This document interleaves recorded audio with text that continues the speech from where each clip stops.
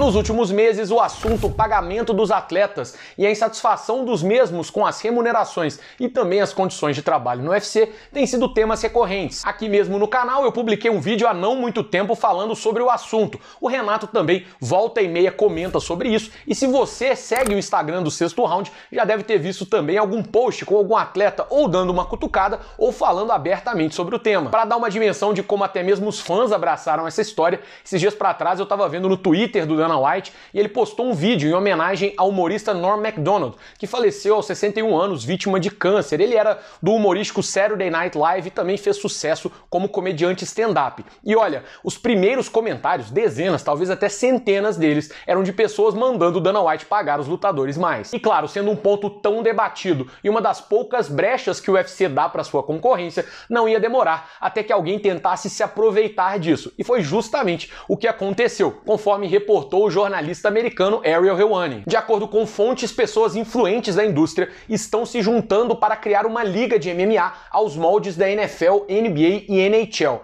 Essa nova liga incluirá uma associação de atletas com acordo coletivo para rateio de receitas 50 a 50, contratos garantidos, seguro de saúde e plano de pensão e aposentadoria. O negócio deve ser anunciado nos próximos dias e espera-se que a liga faça a sua estreia em 2023. Foi o que o Ruani disse no seu Substack, que é uma plataforma de envio de newsletter. À primeira vista, claro, a notícia é animadora. Mais grana para os atletas, muitas das reclamações sendo atendidas e endereçadas diretamente, mas como dizia minha avó, devagar com andor que o santo é de barro. Há alguns pontos que precisam ser observados de perto nessa história. Por exemplo, os tais 50% destinados a pagamento dos atletas atletas. Isso, na teoria, claro, é ótimo, mas depende muito mais do tamanho do bolo que está aí para ser repartido do que de qualquer outra coisa. Por exemplo, uma organização menor que fatura aí cerca de 10% do que fatura o UFC, mas destina 50% disso para pagamento de atletas, contra cerca de 16% do Ultimate. Ainda assim,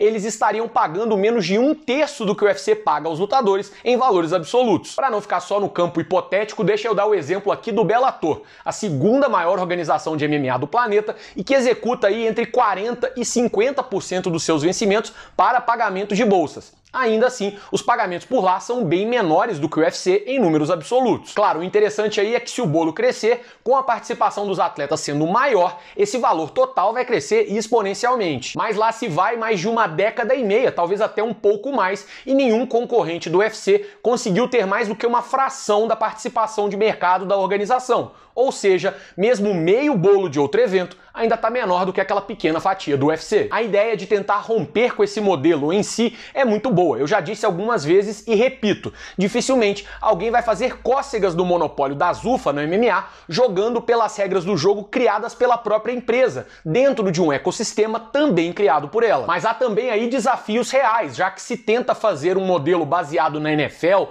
na NHL e na NBA, por exemplo, é sempre importante destacar destacar que essas modalidades e esses esportes têm características e condições completamente diferentes de esportes de combate, por exemplo. O que nos traz ao último e mais importante ponto de interrogação dessa história toda. Quem é esse grupo de pessoas influentes da indústria que vai começar essa nova empreitada? E principalmente, quão fundos são seus bolsos? Posso dizer por experiência própria, o negócio dos esportes de combate tem inúmeras despesas e apenas um grupo bem limitado de fontes de receita. É uma matemática cruel e bastante apertada. Logo, se forem apenas pessoas influentes ou importantes do esporte, mas sem um aporte financeiro maciço, é quase que certeiro cravar que essa liga vem ou para falir no médio e longo prazo ou apenas para ser coadjuvante no mercado. Por outro lado, seja com investimentos volumosos ou se associando a nomes importantes, vale citar, por exemplo, que o ex-presidente americano Donald Trump, grandes figurões de Wall Street, empresários e até fundos de investimento já tiveram ligações ligações com esportes de combate aí sim a coisa muda bem de figura. Vai ser necessário aí o envolvimento de vários setores. Por exemplo, vai ser preciso um baita investimento inicial para tirar o projeto do papel, um grande orçamento de marketing e mídia, para que o evento seja falado, circule na imprensa e entre influenciadores. E claro, vai ser crucial um baita acordo de TV com uma gigante dos Estados Unidos ou mesmo com uma Big Tech, para que possa rolar a transmissão no serviço de streaming, por exemplo. Se isso tudo acontecer, a boa notícia é que o projeto não precisa ser extremamente bem sucedido para promover mudanças significativas no meio do MMA. Como a tal nova liga de MMA citou a NFL como uma inspiração para aqueles que conhecem o futebol americano e também a sua história, é notório que todas as ligas concorrentes ao longo da história tiveram um papel fundamental na construção do modelo atual da NFL. A AFL, por exemplo, foi a mola propulsora do Super Bowl. A USFL, que tinha o aval de Donald Trump, inclusive, mudou drasticamente as estruturas de contrato. E até a XFL de Vince McMahon da WWE mudou a forma como a identidade dos atletas era tratada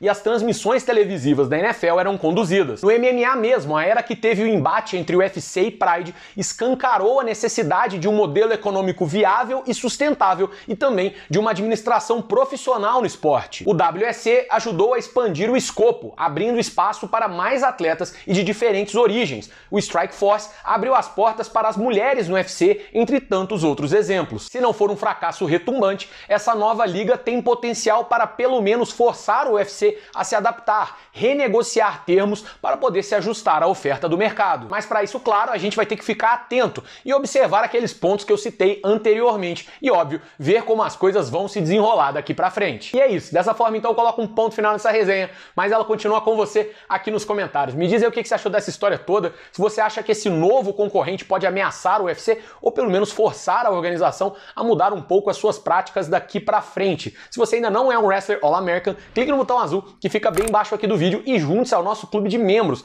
Você ajuda o sexto round a continuar crescendo, participa de conteúdo exclusivo e também concorre todo mês a belíssimas e exclusivas camisetas do canal. Eu vou deixar aqui em cima um link para a última resenha do meu amigo Renato Rebelo para você fazer uma baita maratona sexto round nessa sexta, hein? Beleza? Valeu, um abraço e até mais!